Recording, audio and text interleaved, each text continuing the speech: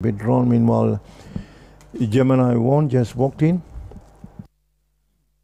The starter presses the button and they are racing. A Gemini 1 missed the start on settling down. It's a Yin Yang jumped out well from Majula showing good speed and he takes the lead.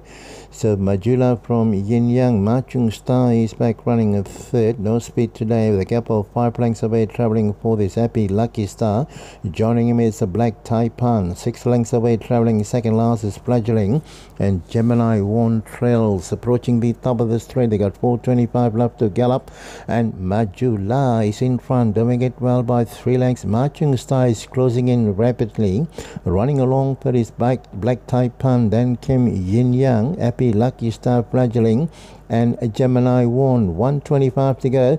Machung Star is in front and hits the lead by half in front of Majula. Machung Star Majula. They're going stride for stride. Black Taipan over the outside finishing on for third. Machung Star Majula. Here comes the pose and give it to Machung Star by a short hit. Second Majula. Third came Black Taipan. Along fourth was Happy Lucky Star. Yin Yang then came Fledgling and Gemini 1.